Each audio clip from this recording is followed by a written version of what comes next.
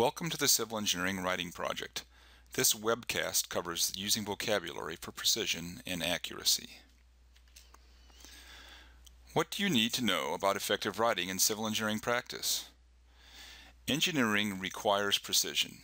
Your words have to be as precise and accurate as calculations and analyses are.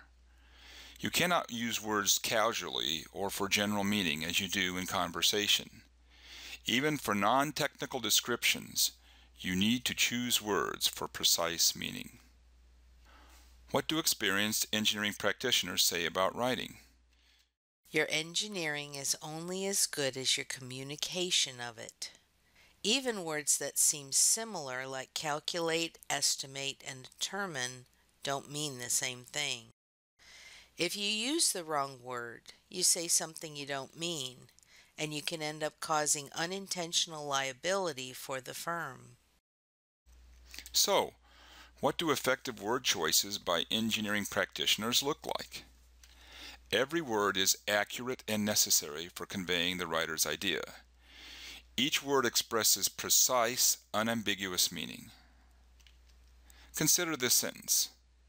The bridge carries two lanes of the highway traffic, one westbound lane and one eastbound lane over the Grand Pass River. This sentence uses specific numbers and directions, two lanes, one westbound and one eastbound. These modifiers precisely describe the configuration of the bridge. Professional writers carefully select verbs to provide accurate meaning. The purpose of the project is to improve the safety and capacity of the I-610 at Moraine Highway on-ramp. Note the use of improve safety rather than make safe. Evergreen forests dominate the higher elevations. Dominate carries a different and more precise meaning than are at. This report contains information on alternatives that would help reduce roadway flooding on Lone Hill Road in Jackson County. The phrase would help reduce is quite different from will prevent. In a court of law, the difference could be critical. Also notice that the writer has selected words to provide complete meaning.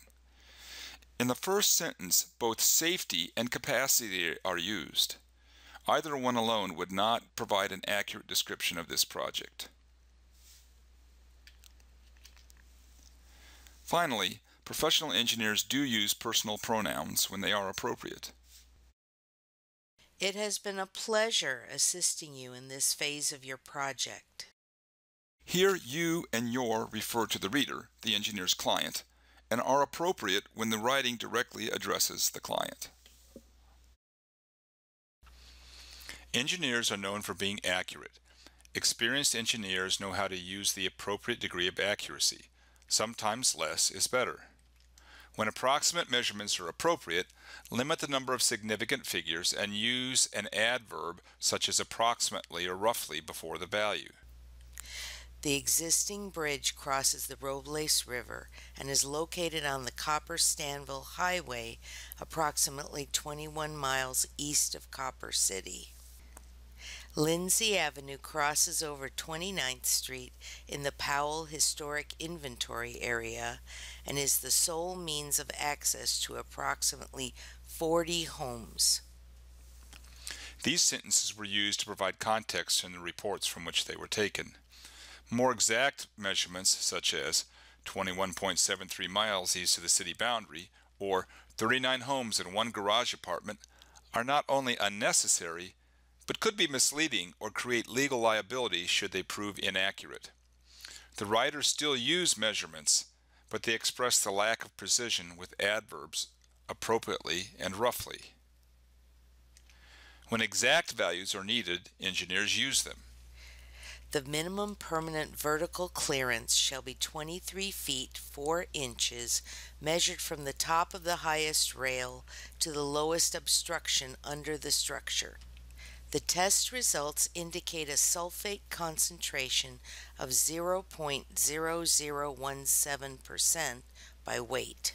These sentences provide measurements with the degree of accuracy required in each context. The writers provide the required significant figures, but no more, and the units are clear. Here are four techniques you can use when revising a draft of a paper to improve the precision and accuracy of the word choices. First tip, identify words that are ambiguous or imprecise and replace them with words that clearly convey your intended meaning. Consider this sentence. A project like this takes great coordination and planning to make sure that the environment and the communities are not negatively impacted. You may want to pause the video now and identify the three ambiguous words or phrases in this sentence, then replace them with more accurate words. As written, this sentence has several ambiguous or imprecise words. A project like this is vague and casual language. What is this? The writer likely means this project. Great could mean a large amount, excellent, or intricate. Make sure is unrealistically absolute. It's not likely we can eliminate all negative impacts, but we can minimize them. How about this alternative? This project requires detailed coordination and planning to minimize the negative impacts on the environment and communities. By using precise word choices, the revision makes the content unambiguous. Notice it's also shorter. Tip 2. Replace words like some, a little, or often with specific quantities whenever you can. The presenters showed us how to clean up a site, which included a few steps with a lot of procedures. The first one was This description is vague and ambiguous. A few and a lot can mean many different numbers. How about this alternative? The presenters described how to clean up a site. They covered five steps, each of which included six to eight procedures. The first step The revision specifies the quantities. Notice that even the use of approximate quantities, six to eight procedures, improves the clarity of the message. The revision also replaces showed with described. This is more accurate. There was a presentation, not a demonstration. Tip 3. Delete unnecessary words. Or as my high school teacher said, when in doubt, leave it out. Try improving each of these sentences. This bridge will make it easier for people who don't necessarily have a car to cross the river. The concrete under the overhang meets a sort of a point above the concrete piers. Necessarily adds nothing to the meaning of this sentence. Delete it. Sort of is a vague expression often used in conversation, but it seldom belongs in engineering writing. If the concrete meets in a point, the sentence should simply say that. If the word point doesn't describe the situation properly, then pick a word that does. Tip 4. Read what you really wrote.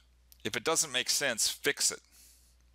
Consider this sentence taken from a lab report where the writer was discussing why measurements by team members varied.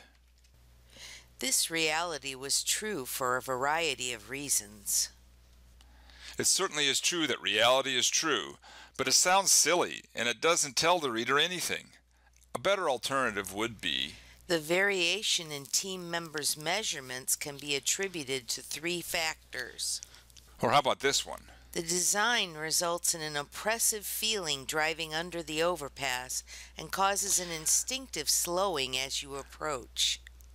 The writer inaccurately uses you to mean drivers in general. The writer also claims to know that drivers feel oppressed. Let's try a rewrite. The design results in a dark underpass with a short sight distance that causes approaching traffic to slow. This revision makes the observation precise. Try these four techniques next time you're revising your item. They really work. Promise. Let's close by busting a big myth. Some students choose words because they think they need to sound smart. If you have that urge, resist it. It usually leads to word choice that is neither accurate nor precise, such as this example. Jensen Smithford Engineering is one of the oldest and most proliferous firms in the industry. The fact that the entire presentation took place in the company's meeting room and not on its working floor lent a somewhat advertisemental feeling to the visit. In modern English, proliferous refers to plant reproduction and growth methods. Advertisemental isn't even a word. Instead of sounding smart, the student's writing sounds silly. If you want to sound smart, concentrate on expressing accurate content with precise, unambiguous words. Otherwise, you'll just be busted.